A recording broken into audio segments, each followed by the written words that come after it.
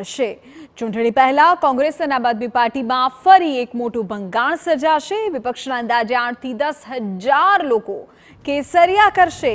અમદાવાદ, ઉત્તર ગુજરાત સહિત સૌરાષ્ટ્રમાં વિપક્ષના કાર્યકરો ભાજપમાં જોડાવાના છે. ઉલ્લેખનીય છે કે ભૂતકાળમાં સસ્પેન્ડ કરાયેલા હોદ્દેદારોની પણ હવે ઘર વાપસી થઈ રહી છે. અમદાવાદ પૂર્વમાંથી કોંગ્રેસમાંથી દંભાઈ પટેલ સહિતની તેમની સમર્થકો કેસરિયા કરશે. તો અમદાવાદના તાલુકા પંચાયતના ત્રણ સભ્યો પણ સામેલ થશે. એનએસયુઆઈના કરણ તોમર સહિત યુથ કોંગ્રેસના કાર્યકરો પણ જોડાશે.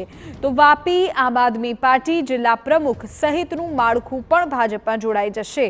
ઉલ્લેખનીય છે કે અરવલ્લીમાં કોંગ્રેસના ચાર વર્તમાન કોર્પોરેટર પણ પક્ષ સાથે છેડો ફાડશે. તો લુણાવાડાના વિપક્ષ ઉમેદવાર એસ એમ ખાંટ પણ તેમના સમર્થકો સાથે કેસરિયા કરશે. તો આવતીકાલે વધુ એક ભરતી મેળો ભારતીય જનતા પાર્ટીનો, જેમાં ઉત્તર ગુજરાત અને સૌરાષ્ટ્રમાંથી વિપક્ષના આગેવાનો ભાજપનો ખેસ ધારણ કરશે. જાણકારી એવી મળી રહી છે કે લગભગ આઠથી દસ હજાર લોકો એકસાથે કાલે કેસરિયા કરશે. ચૂંટણીનો સમય ખૂબ નજીક છે ને એ પહેલા ભાજપમાં ભરતી મેળો સતત યથાવત છે. અમદાવાદ હોય કે તેની આસપાસના અન્ય વિસ્તાર કે જ્યાંથી પણ કેટલાક નેતાઓ ઘર વાપસી કરવાના છે. અમદાવાદ પૂર્વમાંથી કોંગ્રેસમાંથી દંભાઈ પટેલ સહિતના તેમના સમર્થકો કેસરિયા કરવાના છે. તો અમદાવાદના તાલુકા પંચાયતના ત્રણ સભ્યો પણ ભાજપમાં સામેલ થવાના છે. આ તરફ જાણકારી એવી પણ મળી રહી છે કે એનએસયુઆઈના કરણ તોમર સહિત યુથ કોંગ્રેસના કેટલાક કાર્યકરો પણ ભાજપ સાથે જોડાઈ જશે. તો આમ આદમી પાર્ટી અ, ના પણ કેટલાક આગેવાનો આવતીકાલે ભાજપમાં ભળશે તેવા સમાચાર અત્યારે પ્રાપ્ત થઈ રહ્યા છે, જેમાં વાપી આમ આદમી પાર્ટીના જિલ્લા પ્રમુખ સહિતનું માળખું ભાજપમાં જોડાશે.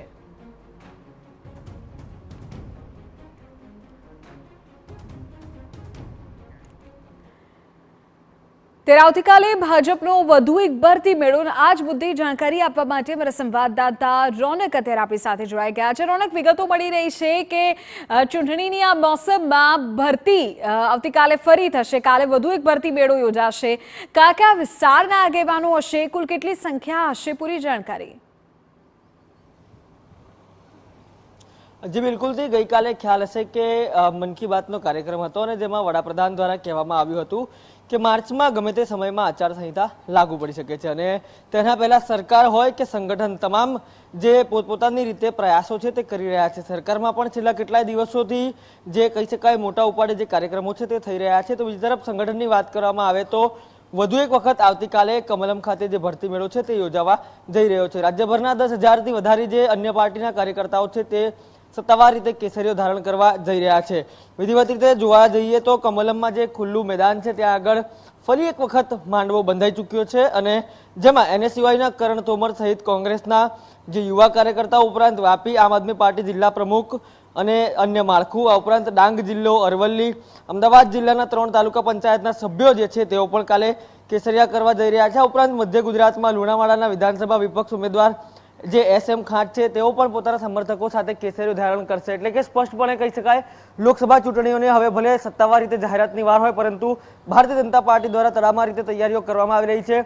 જેટલા પણ વિપક્ષી લોકો છે, તેમને મહત્તમમાં મહત્તમ રીતે પોતાની વિચારધારા સાથે જોડવા પ્રયત્નો કરવામાં આવી રહ્યા છે. પાછળના દિવસોમાં પણ આપણે જોયું કે કઈ રીતે અનેક જિલ્લાના કાર્યકર્તાઓ હજારોની સંખ્યામાં ભારતીય જનતા પાર્ટીમાં જોડાયા છે ત્યારે આવતીકાલે વધુ એક વખત ગાંધીનગરના કમલમ ખાતેથી આ દ્રશ્યો જોવા મળશે, જેમાં દસ હજારથી વધુ કાર્યકર્તાઓ સત્તાવાર રીતે કેસરીઓ ધારણ કરશે.